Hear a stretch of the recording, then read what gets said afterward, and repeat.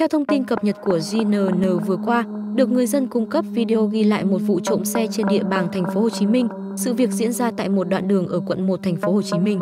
Sau khi tên trộm đã nhiều lần qua lại nắm được tình hình, tên nghi phạm mặc quần jean xanh áo khoác xám và đội mũ bảo hiểm màu xanh dương. Đầu tiên hắn dùng khóa đa năng bẻ khóa xe NVX hãng Yamaha.